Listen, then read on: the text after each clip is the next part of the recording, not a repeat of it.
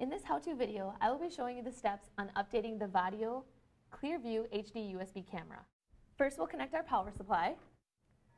Then we'll connect our Cat5 into our network jack. Then the other end of the Cat5 will be connected directly to a network.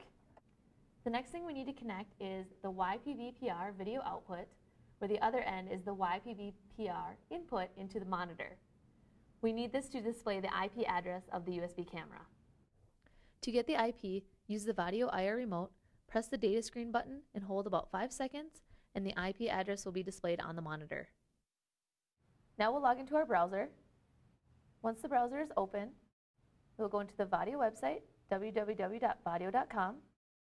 Once we're in the website, we go to Tech Center, then Updates, where we'll find the file that we need for the USB camera.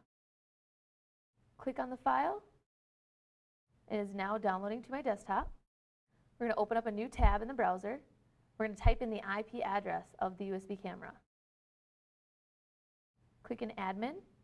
The default password is password. Type in password. Go into System.